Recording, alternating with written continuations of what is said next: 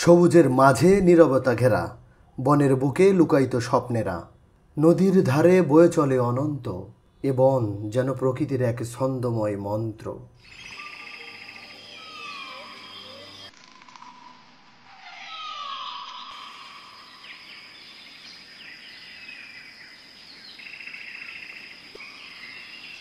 সুন্দরবন পৃথিবীর বৃহত্তম ম্যানগ্রোভ বন। এখানে প্রকৃতি যেন নিজের হাতে রচনা করেছে অপূর্ব এক কবিতা। সুন্দরবন শুধু সৌন্দর্যের নয়, জীবনেরও গল্প।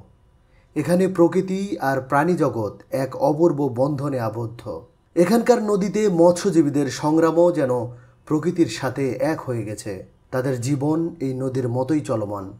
প্রতিনিয়ত সংগ্রাম আর সাহসের প্রতীক।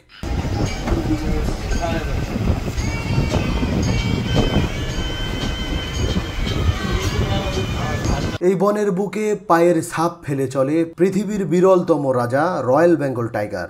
তার প্রতিটি পদচারণা সুন্দরবনের গভীরতাকে আরেকটু রহস্যময় করে তোলে।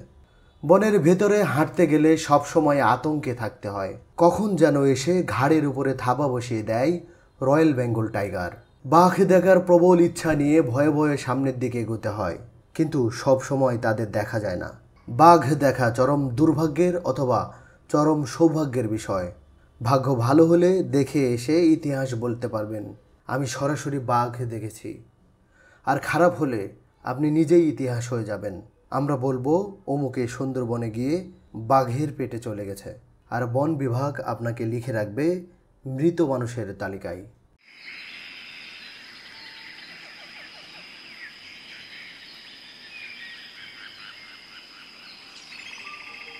বর্তমানে সুন্দরবনের বাঘের সংখ্যা দুশো ছাপ্পান্নটি। কীভাবে এই বাঘগুলো গণনা করা হয় তা দেখানো হয়েছে পর্ব চারে টাইগার পয়েন্ট নামক ভিডিওটিতে। এখানে একজন বাঘ গণনাকারীর সাথে সরাসরি কথা বলে এই তথ্যগুলো দেওয়া হয়েছে। ভিডিও লিংক ডেসক্রিপশন বক্সে দেওয়া আছে। যেগুলো জনবস জনমানুষ তেমন একটা যায়। প্রবেশ করে না। ঠিক ওই জায়গাগুলোই থাকতে পছন্দ করে। আচ্ছা। মানে নিরিবিলি জায়গা পছন্দ করে। সুন্দরবন শুধু বাঘের নয় হরিণের মায়া পাখির গান বনের কোলাহল আর কুমিরের রহস্যময় চোখের দৃষ্টিও এই বনকে জীবন্ত করে তোলে। ঘোলা জলের আতঙ্ক কুমির কুমিরের ভয়ে পানিতে নামা যায় না। গাছের কোঠরে আছে বিষাক্ত সাপ যার একটা সবল খেয়ে মা বলার সুযোগও পাওয়া যায় না। হ্যাঁ বনু শুকুরের সামনে পড়লে তো আর রক্ষাই নেই। অর্থাৎ জলে কুমির ডাঙায় বাঘ মাথার উপর গাছে আছে বিষাক্ত সাপ। আপনি যতক্ষণ সুন্দরবনে থাকবেন ততক্ষণ একটা ভয়ের শিহরণ বয়ে যাবে শরীর দিয়ে। এই থেকে সেই থেকে অন্তত সাত আট ঘণ্টা চলবে তারপরে যে আপনার তরুণ যাবে তবে বানরের বাদরামি দেখে মন ভালো হয়ে যাবে নিমিষেই। তবে সাবধান এরা হাত থেকে মোবাইল কেড়ে নেয়। শুধু মোবাইল না খাবারও কেড়ে নেয়। কিন্তু তার কাছে টেকনিক জানা আছে। ভূতের তলা কামড় দিয়ে ফাটিয়ে সেখান থেকে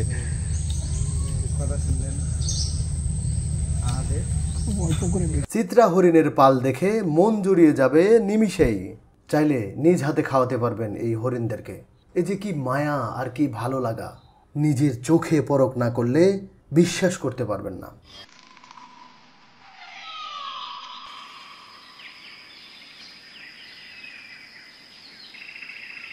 যাবেন নাকি এমন রহস্য? ভয় আর অপরূপ সৌন্দর্য দেখতে তাহলে আমাদের অভিযান সুন্দরবন বা মিশন সুন্দরবন নামের এই রহস্যময় ভিডিও সিরিজের সবগুলো ভিডিও দেখুন।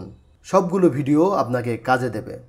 অভিযান সুন্দরবন বা মিশন সুন্দরবন নামের এই রহস্যময় ভিডিও সিরিজে তুলে ধরা হয়েছে সুন্দরবনের প্রাকৃতিক সৌন্দর্য, সুন্দরবনের নামকরণ, ইতিহাস, অবস্থান, জীববৈচিত্র্য, কীভাবে যাবেন, কোথায় থাকবেন, কোথায় খাবেন, কত টাকা খরচ পড়বে, কীভাবে বুকিং দিবেন, কি কি সাথে নেবেন আর কি কি সতর্কতা অবলম্বন করবেন ইত্যাদি।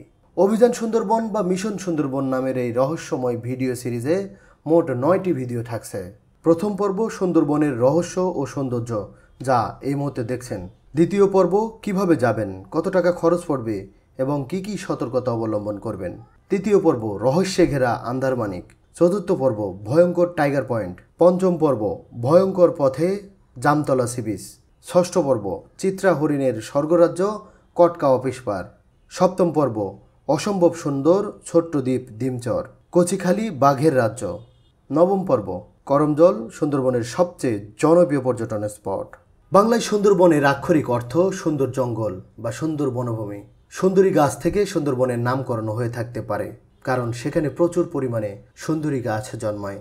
অন্যান্য সম্ভাব্য ব্যাখ্যা এরকম হতে পারে যে এর নামকরণ হয়তো হয়েছে সমুদ্রবন বা চন্দ্রবাধে থেকে। তবে সাধারণভাবে ধরে নেওয়া হয় যে সুন্দরী গাছ থেকেই সুন্দরবনের নামকরণ হয়েছে। এই গাছ শুধু বনকে নয়, এখানকার জীবনকেও রক্ষা করে। সুন্দরী গাছের শেকড় যেমন মাটিকে শক্ত করে, তেমনি এই বনকেও মজবুত করে রেখেছে।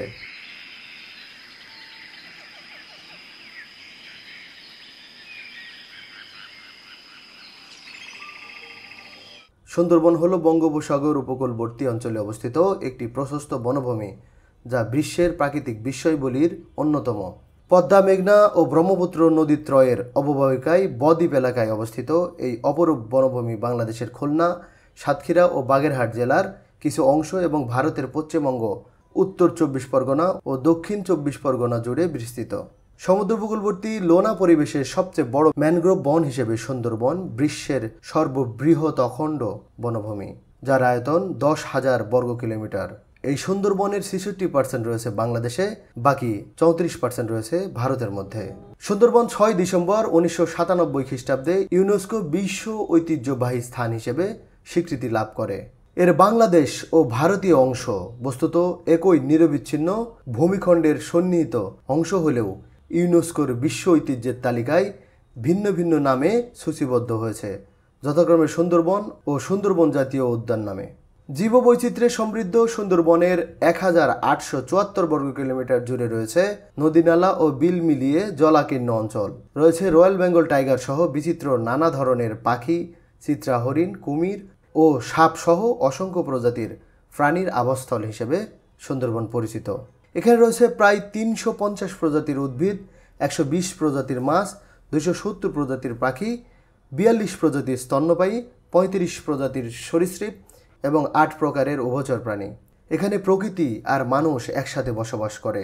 গাছের শ্বাসমূল আর নদীর পানি যেন তাদের জীবনের শ্বাস প্রশ্বাস এই বন শুধু রক্ষা করে না, শেখায় কীভাবে প্রকৃতির সাথে একাত্ম হয়ে বাঁচতে হয়।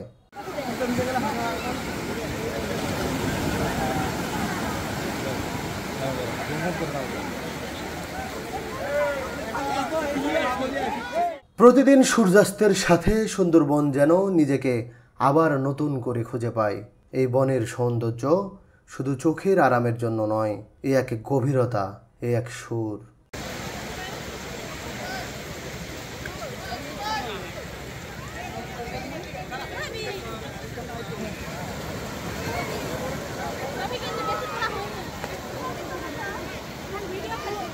সুন্দরবন তার নিজস্ব সুরে কথা বলে। এই সুরে আছে জীবনের নীরব বার্তা। এ বন শুধু দেখার নয়, অনুভবের। প্রতিটি পাতা, প্রতিটি ঢেউ, প্রতিটি নিঃশ্বাসে মিশে আসে সুন্দরবন।